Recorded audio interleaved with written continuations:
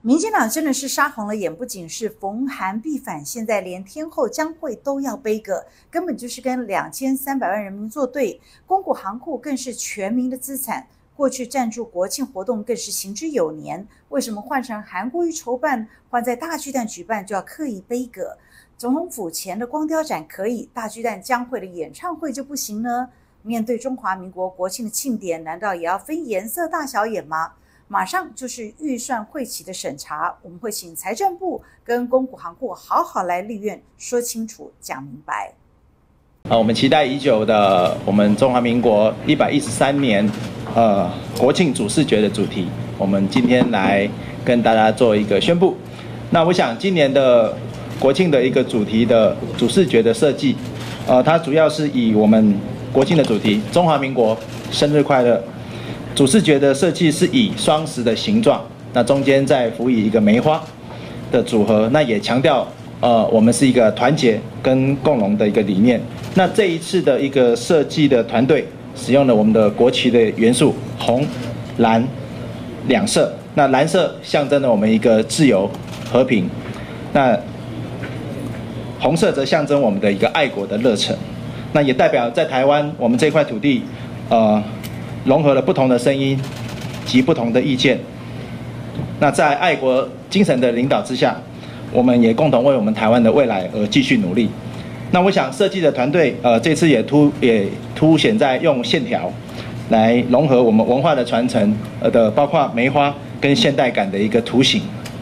呃，这个也是一个激励大家来共同努力的象征。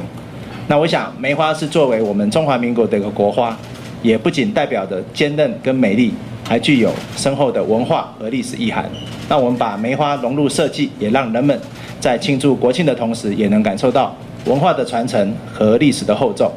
那另外在设计中，我们的传统元素呃部分呃这这个一个现代感的一个图形设计，那这个的设计也是一个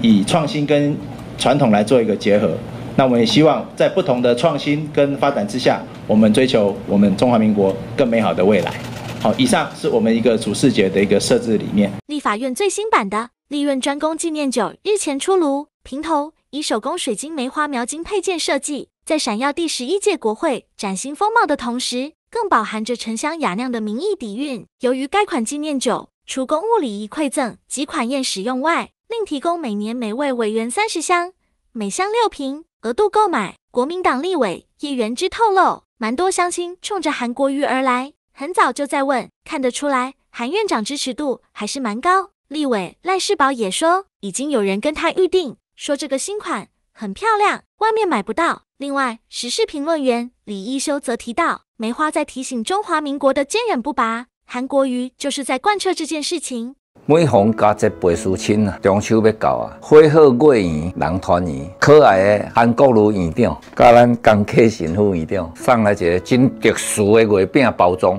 哦，我今日来开箱，互恁看卖啊，我还未看啊。来，哎，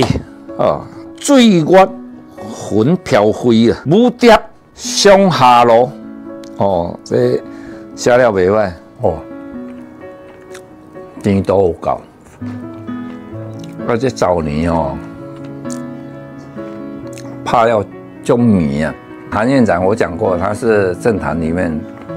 很有温度的，大概我碰到他是算是最有温度的一个政治人物。你跟他见面讲话都很温馨啊，听他讲话就如沐春风了，你会觉得很愉悦，很舒服。就是他，他亏你的时候，你都会觉得很高兴。这就是韩院长，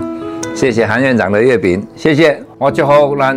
所有观众朋友哈，花好月圆，人团圆啊，事事如意。祝您大家中秋节快乐。院长真的是很贴心、很暖心哦，不只是这一次今年的中秋月饼的礼盒非常精致、非常漂亮，而且上面的字哦都还非常的特别。另外，其实不只是所有的委员有收到，连包括整个呃立法院服务台的人员、服务人员、警卫都有收到。那不只是今年的中秋节，包括端午节。包括情人节，我们还有送到一朵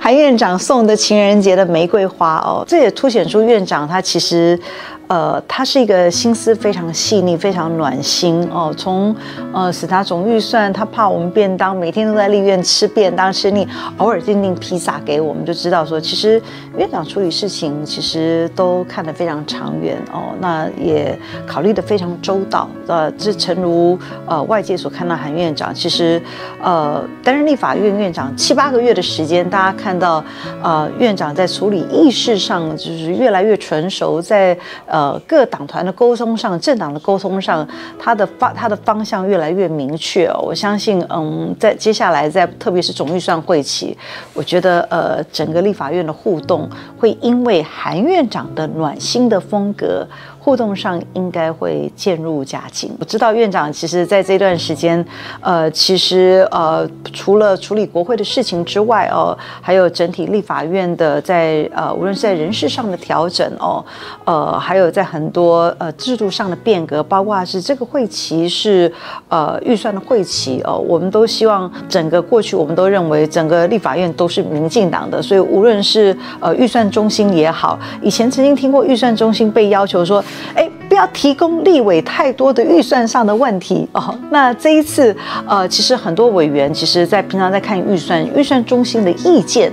哦，监督行政单位对我们来说非常的重要。那我们也都看到韩院长跟秘书长特别在这几大块上都都都是很明确的，呃。我们的立法院的功能最主要的职责就是帮人民的荷包把关，所以在这些议题上，我觉得呃院长呃都把他的想法哦，还有呃要求的做法，其实都都要求的非常明确。我相信对于未来整体立法院的效率运作，一定都会更好。法院长韩国瑜、副院长江启臣。十日前往古关大道院参加为期五天的八八蟠桃盛会，庆祝瑶池金母娘娘圣诞。随后赶往立院中部办公室一炉餐厅，与立院中南部办公室员工聚餐，提前欢庆中秋佳节。韩国瑜上台致辞时，先祝福大家中秋佳节快乐，月圆人团圆。韩国瑜说，他和江启臣认为每位员工都非常辛苦，阶级不在高下，职务不在粗重，每一位员工都有能有一个温暖。今年他和江启臣送五星级月饼之一给所有立法院一千一百四十九位的员工。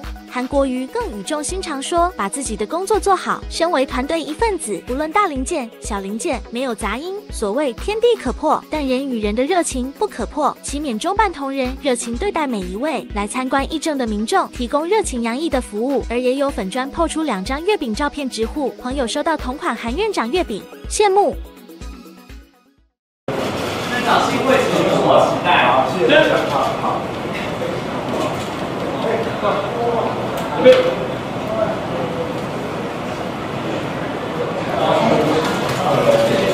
长兴会旗对你法院有期待吗？